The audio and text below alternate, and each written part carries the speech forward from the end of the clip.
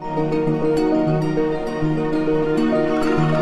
Buenos días, el IBEX comienza con ligeras pérdidas para nuestro IBEX 35 en una jornada tranquila, sin apenas movimientos en el parque, pero con una jornada empresarial de gran alcance. Eh, IAG ha presentado un plan de reestructuración por el que Iberia despedirá a 4.500 empleados. Además, recortará el 15% de los vuelos para el próximo año y reducirá su flota en 25 aviones. La noticia llega el mismo día en que el holding ha confesado unas pérdidas de 39 millones de euros en los nueve primeros meses de este año. Son precisamente los títulos de IAG los que peor comportamiento registran en esta apertura con caídas cercanas al 2% y solo le supera Mediaset, abajo un 2,04%.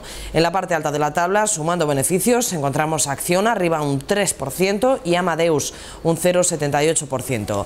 En clave europea, más allá de esas noticias que están influyendo mucho en nuestro parque, hoy los inversores están pendientes ah, de la reunión del ECOFIN. En esta ocasión, los ministros de Economía tratarán el presupuesto de la Unión, una cita que el resto de plazas recibe con tono mixto.